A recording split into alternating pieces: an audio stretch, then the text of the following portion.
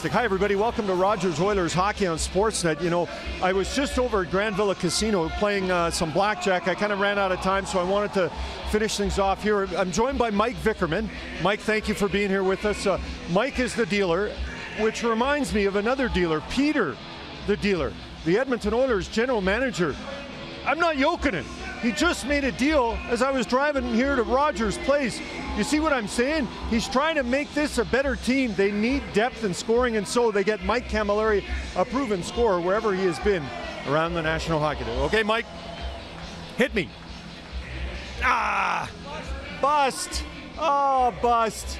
But you know what? I'll tell you who's not a bust. Jesse Puljujarvi.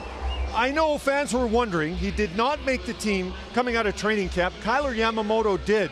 So you think is the fourth overall pick from 2016 going to pan out? I think after this weekend you're feeling much better about it. Not afraid to shoot, scored his second National Hockey League goal, and he's starting to look comfortable with the Edmonton Oilers. You know what? I'm running out of time. You know what? I'm going to go all in. Speaking of all in, how about Bill Foley? $500 million to buy the Vegas franchise, and so far he's got to love his investment, sitting second in the Pacific Division, only three points back of Los Angeles. All right, Mike, let's do this, buddy. Come on, come on, Ace. Yes! Ace! Woo! Yes! Fantastic. Love it. Big winner. All right, now let's uh, join Robert Clark, who's going to chip in with the national anthems.